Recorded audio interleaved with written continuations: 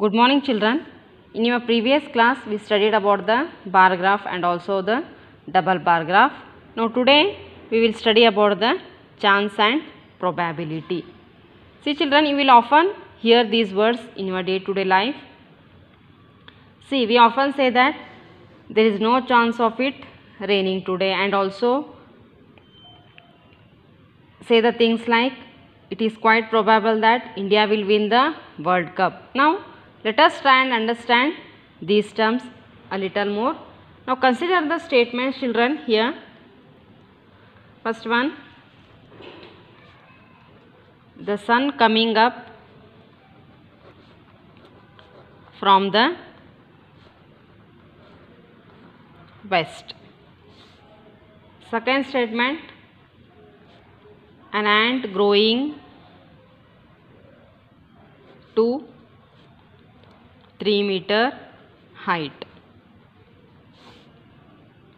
Third statement if you take a cube of larger volume its side will also be larger. Fourth statement if you take a circle with larger area then its radius will also be larger. Fifth statement India winning the next test series. India winning the next test series. See children, if we look at the statements given here, you would say that the sun coming up from the west, it is impossible. And an ant growing to 3 meter height is also not possible. And in third statement children here if the circle is of a larger area and it is certain that it will have a larger radius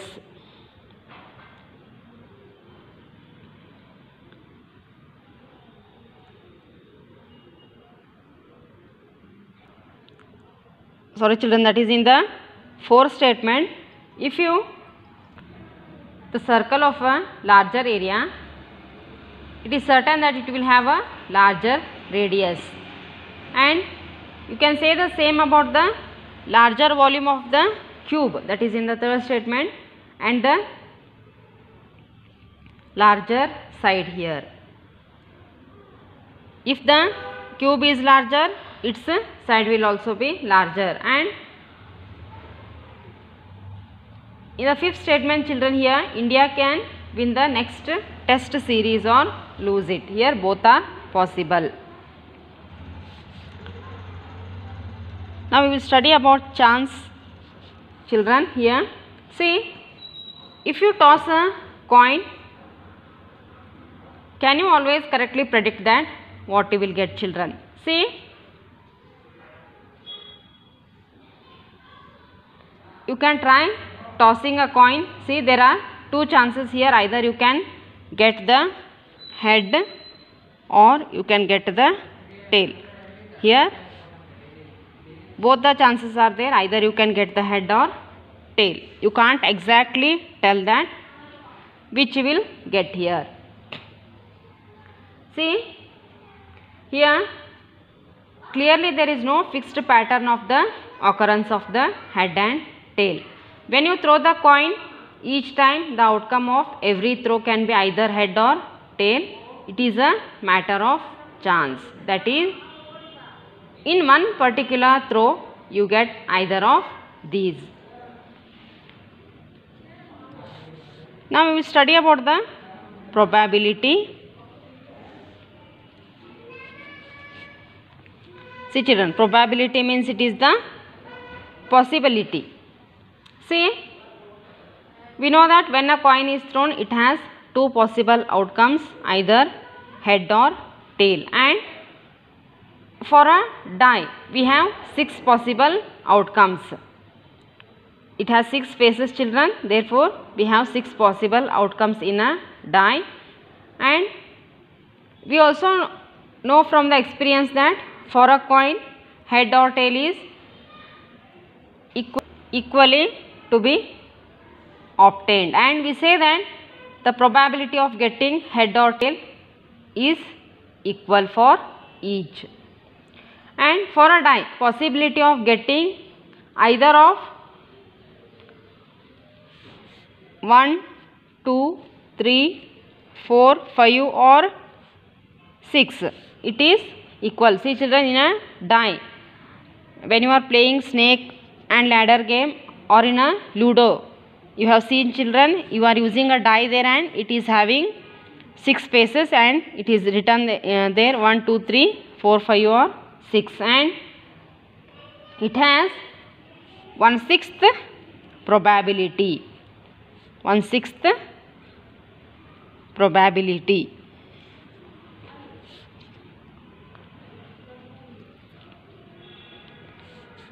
Now probability children. We are having one formula here probability of event to happen. Probability of event to happen it is considered as p of e. This equals to number of favorable outcomes divided by total number of outcomes. Total number of outcomes. This is written as children p of e equals to n of e by n of s.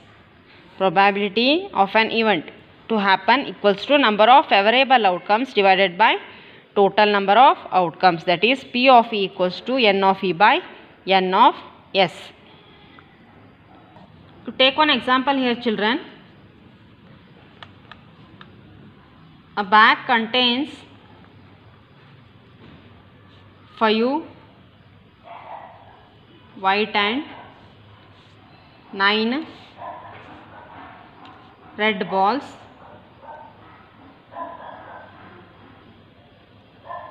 one ball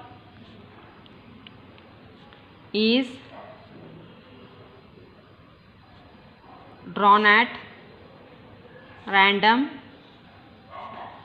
from the bag. Find the probability of getting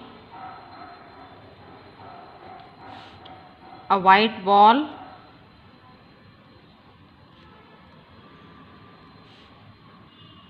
B1 is a red ball. See children, a bag contains 5 white balls and 9 red balls and one ball it is drawn at a random from the bag you have to find the probability of getting a white ball a red ball. See children a ball it is taken from the bag randomly. Means not a particular ball is taken it is taken randomly. You have to find the probability of getting a white ball and a red ball. Solution? See first you have to find the total number of balls. Total number of balls see 5 white balls and 9 red balls that is 5 plus 9 total 14 balls that is n of s equals to 14 first one you have to find the number of white balls. Number of white balls equals to 5 that is n of e equals to 5 now probability of getting white ball equals to n of e by n of s. That is n of e that is 5 n of s. That is total number of balls 14 for 5 by 14 second one probability of getting red ball equals to n of e by n of s. That is n of e that is there are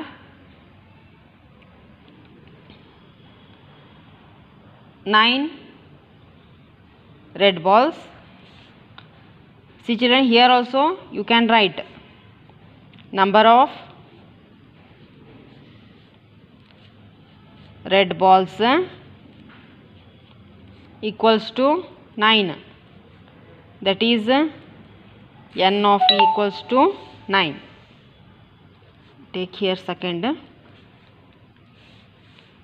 Now n of e that is eh, 9 now total number of balls that is 14 therefore probability of getting red ball is 9 by 14 next example children.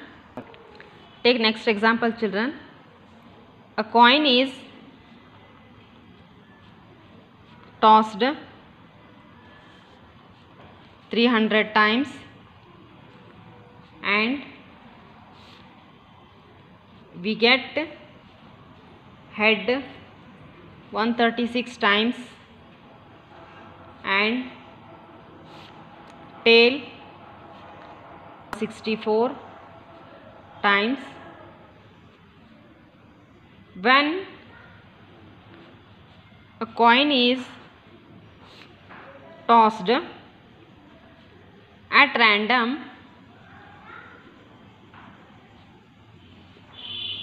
what is the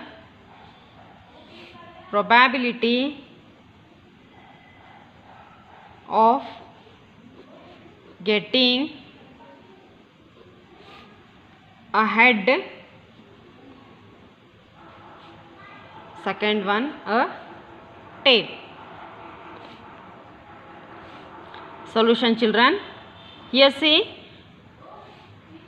A coin is tossed 300 times and we get 136 times head and 164 times tail. And when it is tossed at a random you have to find what is the probability of getting a head and a tail. See total number of trials equals to 300 now number of times a head is obtained. Number of times a head is obtained equal to 136 number of times a tail is obtained. It is given here 164 first one probability of getting head equals to number of times head is obtained divided by total number of trials that is here number of times head is obtained that is 136 total number of trials that is 300 you simplify this children. 4 3s are 1 will remain here 4 4s are 16 again 4 7s are 28 2 will remain here. 4 5 are that is 34 by 75 second one probability of getting a tail equals to number of times tail is obtained divided by total number of trials that is number of times tail is obtained children that is 164 divided by total number of trials 300 again you simplify this children. 4 4s are 4 1s are 4 7s are 4 5 41 by 75 understood children? Till now we studied about the chance and probability and also we solved the examples children. You solve these all and you also try to solve the exercise 3.4 children. Thank you